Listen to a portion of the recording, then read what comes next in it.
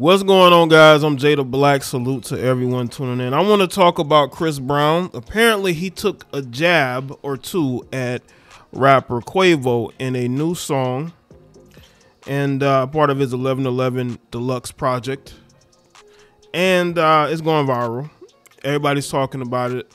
And, uh, you know, this is a time of, uh, I don't know time of the year, but we have a lot of beefing going on, especially in music, it seems like and Chris Brown and Quavo is something that is not new. These two have there's been rumors that these two don't like each other. I think Chris Brown at times has kind of alluded to it. You know, there's an incident that goes back to 2017 when Quavo started dating Karrueche, and I think this is what this is all about. It's all about Karrueche, the fact that Quavo started dating her.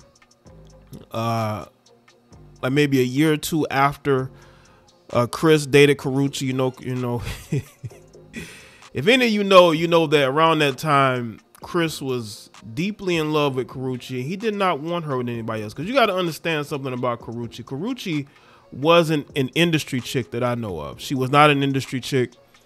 And I think once she broke up with Chris and she started hanging in these circles, he knew it would be a matter of time for a lot of these rappers started to get at her, and that's exactly what happened to the point to where she started dating Quavo, and apparently back in 2017 uh, at a BET after party, uh, their entourages got into it to the point to where uh, the Migos entourage surrounded Chris Brown's car when he was on his way out. But we'll get into that a little bit later. Uh, you know, I think uh, Offset tried to deny there was any issues, but I mean, clearly something is going on between them. Okay? Or went on between them to the point to where Chris Brown is addressing Quavo years later.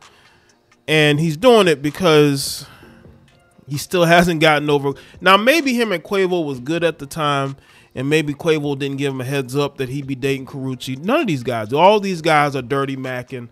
All of them are trying to sleep with somebody's girlfriend or wife. They don't care. They don't.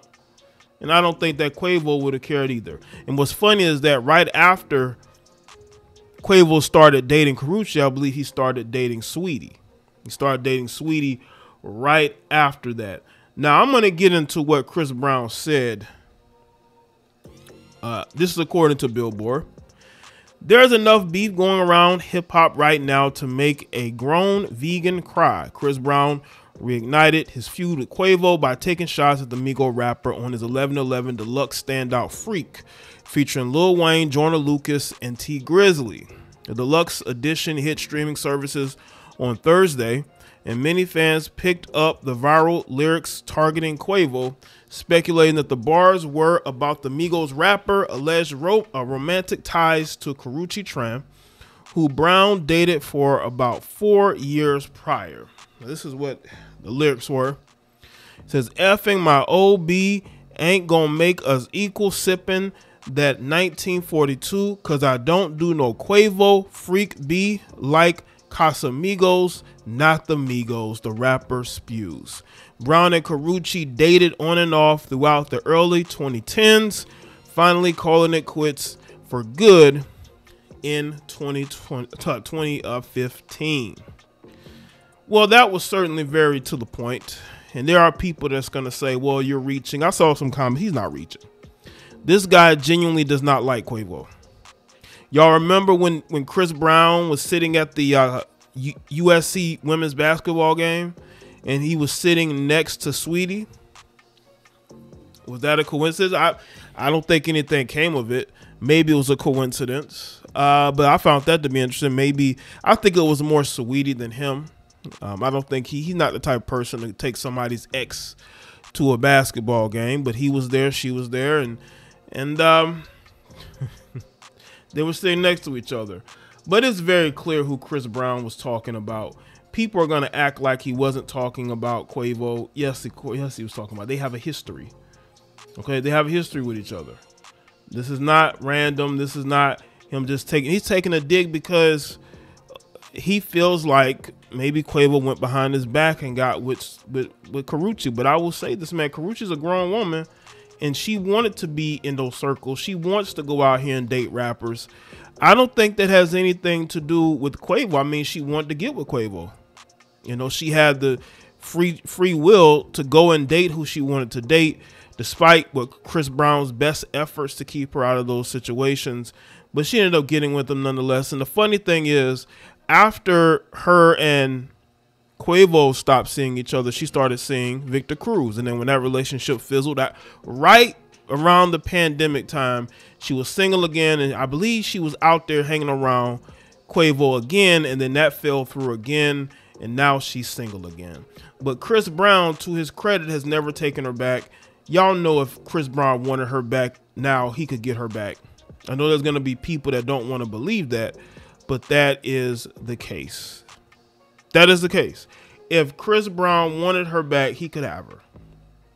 I think some of y'all are very delusional right now. You trying to tell me that Karrueche wouldn't get back with Chris Brown in 2024? Who who who nothing it just seems like she's kind of fizzled. She did have a TV show on uh, called Claws that seemingly was doing well and it got canceled. Now she's on OnlyFans selling feet pics. I'm pretty sure if Chris Brown really wanted her back, she would go. Now, there's more from this article. Says Quavo was seen with Karrueche as far back as 2017, and the pair have been flooded with romance rumors in the years since after being spotted in West Hollywood dinner party in early 2022. Hollywood uh, Entertainment Tonight reported Quavo and Karrueche were a couple, but the model disputed the claims. She said that no, we are not. She told the Shade Room. Chris Brown, because y'all was just screwing. Quavo could get her too if he wanted to. Quavo could get her if he wanted to too. Chris Brown initially lit the fuse in January when blasting Quavo after awkwardly being sat next to him at the Rhude Menswear Fall Winter 2024-2025 show. Clearly, there was no love loss or reconciliation after the run-in. Can't pick who you sit by, Chris wrote in an Instagram comment following the show. F all that growth bleep. N word, not finna fumble my bag for a little N words. I understand that. Yeah, you don't need to be out here fighting nobody. You don't. And and honestly, I, I look at how people can perce- uh, perceive somebody like Chris and everything that he's been through and say, you know what, you can't be out here screwing up, getting into fights, dealing with, because he's still haunted by that Rihanna situation, and he's he's always going to. I think Karrueche played into that too, but Chris Brown didn't help his case. He really didn't, and the fact that Chris is still upset at Quavo, I think he considered Quavo his friend. And I think that when Quavo started dating Karrueche, I think he saw it as disrespect because I think he thought there was some kind of bro code. Bro, this is the industry. There is no bro code in the industry. These guys will screw wives and girlfriends. They don't care. Now, these, this is the, these two sitting together uh, recently. And uh, you know, Quavo always strikes me as the type of guy that's not going to beef with nobody. He, he strikes me as the type of guy that's going to try to keep cool, and I think he should. And um, I think Chris needs to get over what happened with Karrueche years ago. I think he felt like she walked away from him, and she did. Karrueche walked away from him because she wanted her own career she wanted to be out here on her own in these streets.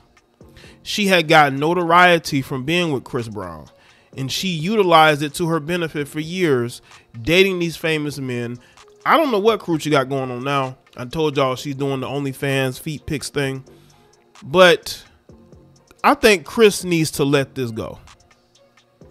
Just let it go. Now, again, we don't know what's going on behind the scenes. There's probably more that we don't know about. But I, I do think that it's a bad look to still be upset because Quavo dated your ex. You know, there's no evidence that, you know, he was messing around with her while they were together. Now, that we know of publicly. Publicly, we don't know, but apparently he may believe that something happened before they were together out in public like that. But ultimately, that was years ago. You gotta let it go. There's plenty of women out here. I don't think Karrueche's anything special because if she was, she would have been able to maintain her relationship with Victor Cruz. She she literally broke up with him because they were living in separate places during the pandemic.